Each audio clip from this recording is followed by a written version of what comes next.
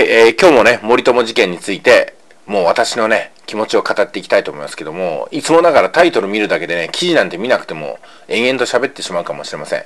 今回ですね、お亡くなりになった赤木さんの奥さんが、安倍首相の冷酷反応に、夫が生きていたら悔しくて泣いているというふうなね、ことを語られたというふうにタイトル書いてます。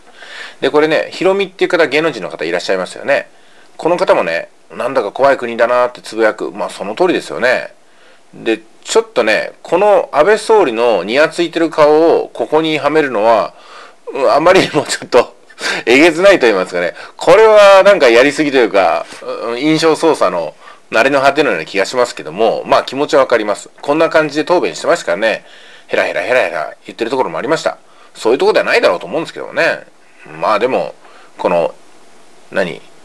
悲惨な状況とかね、うん、赤木さんの奥さんの気持ちを考えても、考えなくてもいい、なんかね、なんて言いますかね。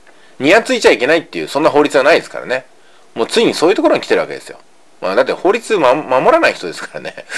うん。森友問題の文書改ざんを強要され自殺した近畿財務局の職員、赤木俊夫さんが残した遺書と手記をめぐって、えー、首相と下劣な本性を晒し続けている。あ、安倍首相が下劣な本性を晒し続けている。わ、すごいこと書きますね。これなんていう記事でしたっけ？リトラ、すごいですね。いつもながら。うん、このサイト結構毎日私アクセスしてますね。えー、赤、えー、安倍総理は赤木さんの手記に財務省の調査報告書と明らかに食い違う証言があるのに、がんとして再調査を拒否。要するに、お手盛りの財務省の調査報告書があるから、この赤木さんの周期なんていうのは、たわごとなんだっていうふうにね、一周してるわけなんですよ。だからどこまで行ってもこれね、突っぱねるんでしょうね、きっとね。だって調査されたらまずいですからね。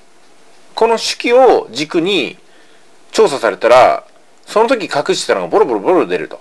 そしてもう一回ヒアリングをしたら、もう黙ってらんないっていうな人がね、もう第2の赤木さん、第2の3の赤木さんが出てきて、もうね、崩壊するんでしょうね、きっとね。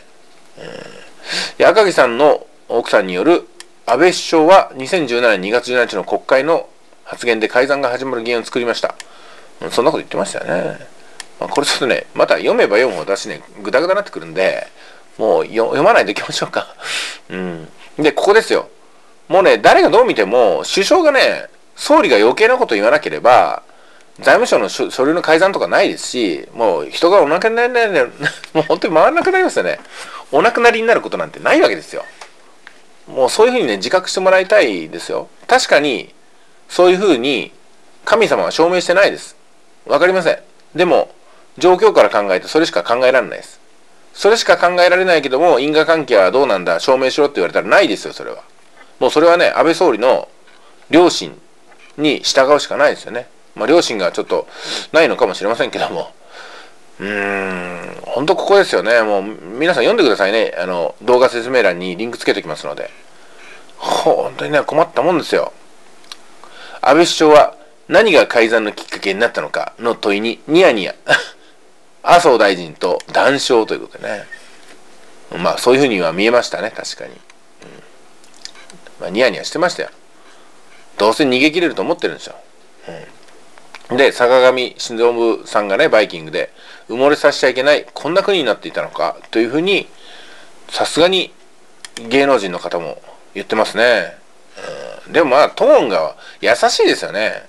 もうちょっとね、あの、なんですか、共産党の人みたいに怒ってくださいよ、本当に。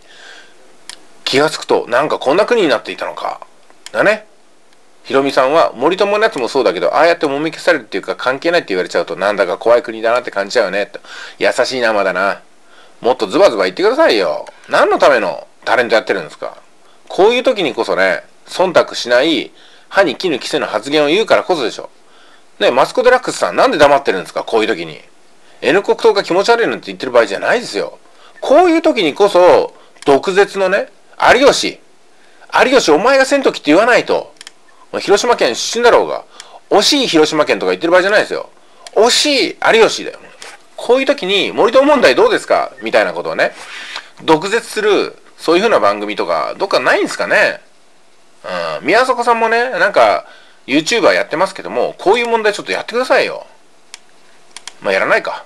中田さん中田敦彦大学もう森友問題この赤木さんについて語る講義エクストリーム森友とかやってくださいよ。